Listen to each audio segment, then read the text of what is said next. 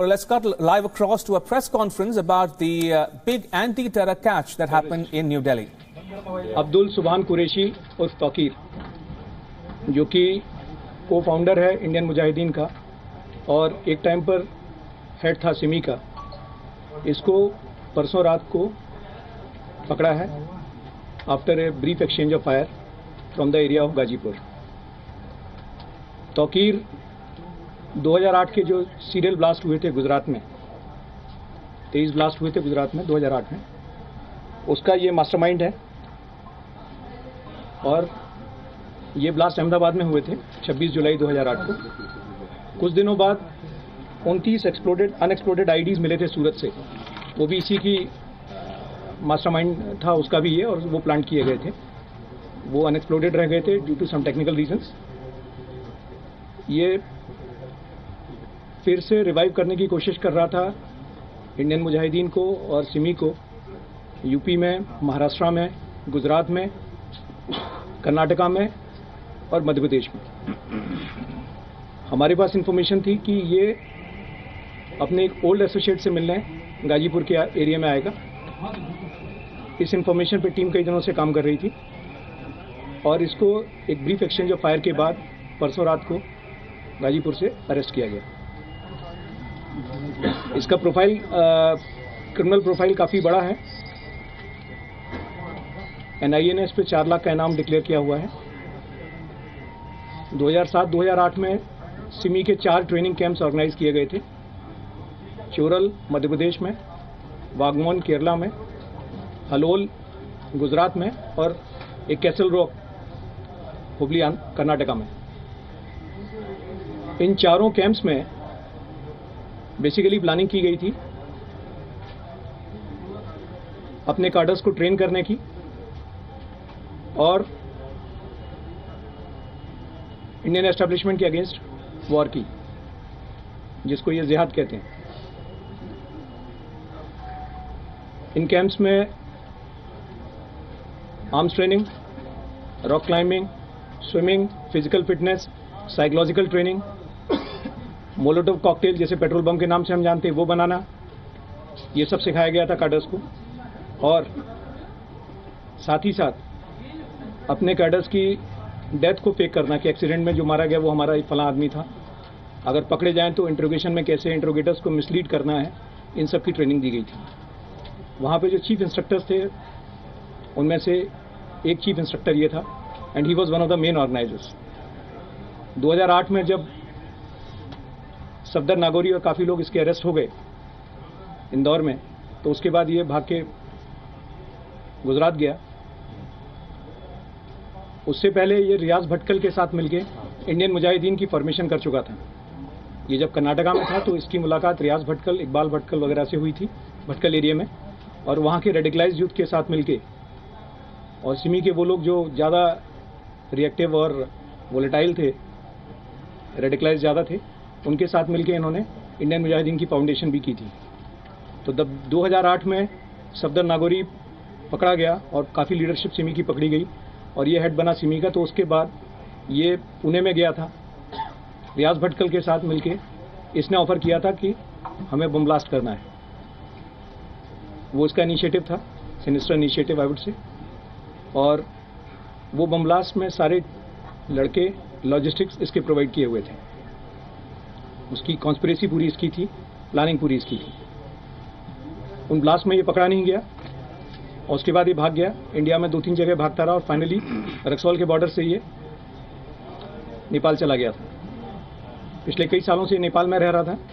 बीच में 2013 से 15 के बीच में कुछ टाइम के लिए सऊदी अरब भी गया था। Basically again to raise funds और to revive his terror network sorry I repeat 2015 से 17 के बीच में। Saudi. Saudi. Two was two years he was in Saudi Arabia और वो सारी डिटेल्स अभी हम वेरीफाई कर रहे हैं। नेपाल में इसने नकली डॉक्यूमेंट्स के बेसिस पे ये रह रहा था। नकली डॉक्यूमेंट्स क्रिएट किए हुए थे। इसकी फिर कुछ लोगों से इसका कांटेक्ट हुआ फॉरेन में। And finally he had come back to India जब से लगा कि इंडियन मुजाहिदीन की सारी टॉप लीडरशिप या तो मारी जा चुकी है या पकड़ी गई है या बाहर है। सिमी भी ऑलमोस्ट खत्म हो चुकी है। सिमी के जो टॉप लीडर्स हैं वो खत्म हो चुके हैं। तो ये आया था दोबारा रिवाइव करने के लिए। जैसे मैंने आपको बताया कि इसके जो प्लान था इनिशियल प्लान था जिन जगहों पे ये स्ट्रांग था यूपी में था ये महाराष्ट्र में स्ट्रांग था गुजरात में स्ट्रांग था कर्नाटका में स्ट्रांग था और मध्य प्रदेश में। तो ये इसका प्लान था वापस उस नेटवर्क को रिवाइव करना।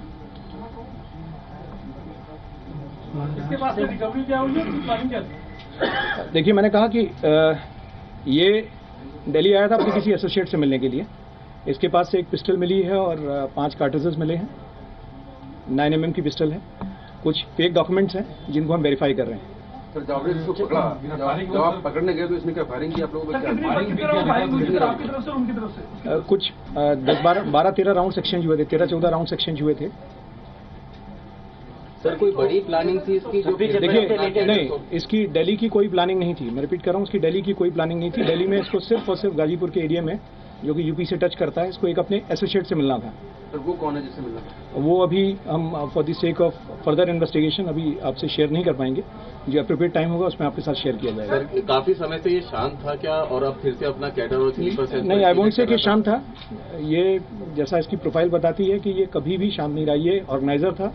मास्टरमाइंड था, ये हमेशा से लार्जर रोल प्ले करता रहा है। जैसे सारे ट्रेनिंग कैंप जितने सिमी के, जो ऐसे ट्रेनिंग कैंप्स जिसमें सिमी के लोगों को हार्डकोर ट्रेनिंग दी गई to wage fight against the establishment वो इसके सारे ऑर्गेनाइजेशन में ये रहता था।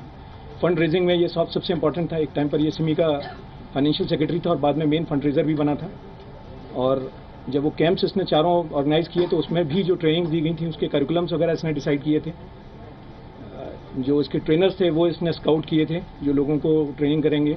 ट्रेनिंग देंगे military training physical fitness training jungle survival training map reading ये सारी की सारी ट्रेनिंग उन कैंप्स में दी गई थी फ़िज़िकल फिटनेस की ट्रेनिंग तो ये सारा कैंप्स इसके ऑर्गेनाइज किए हुए थे।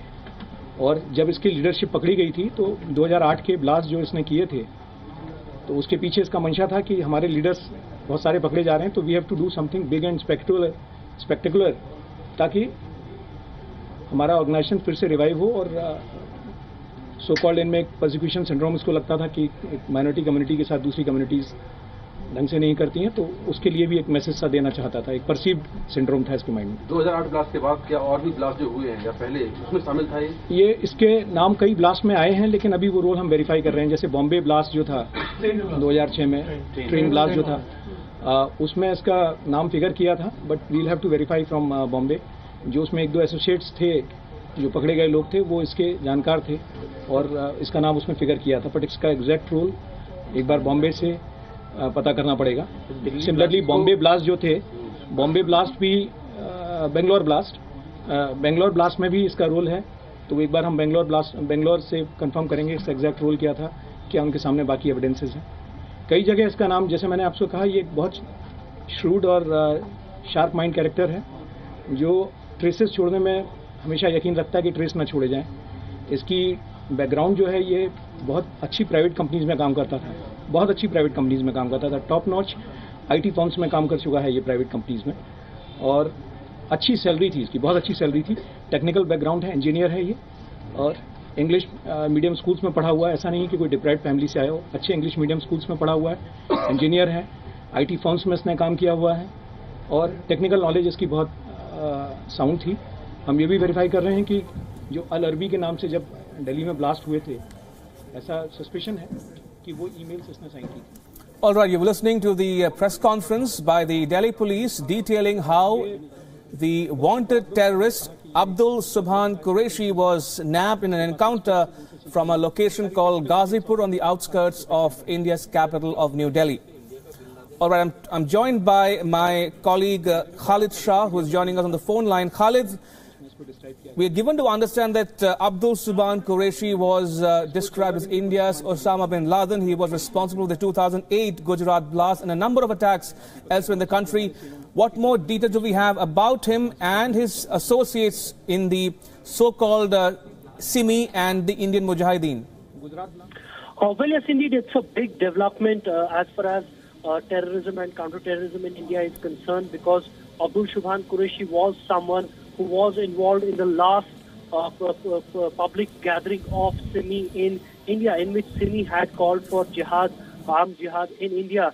And now he has been arrested by Delhi police. The Delhi police special cell clearly saying that he was trying to revive Indian Mujahideen in India. Remember, Indian Mujahideen is the uh, dreaded terror group which was involved in a number of terror attacks in India. It was particularly a point of concern for uh, security forces because Indian Mujahideen was local grown. It had uh, radicalized youth from uh, within the country who had uh, taken to terrorism. And now uh, the Delhi Police Special Cell saying that from 2015 to 2017, he was in Saudi. He was trying right. to raise funds to revive of uh, Indian Mujahideen India. And uh, in that, uh, uh, in, in, in, the logical conclusion to that, he had come to Delhi to meet an associate when uh, Delhi police got an input regarding this and has now uh, nabbed this particular terrorist. We are also being told that the anti-terror squad of Mumbai and as well as Gujarat is in touch with Delhi police. They're wanting to investigate this man because right. he's also involved in cases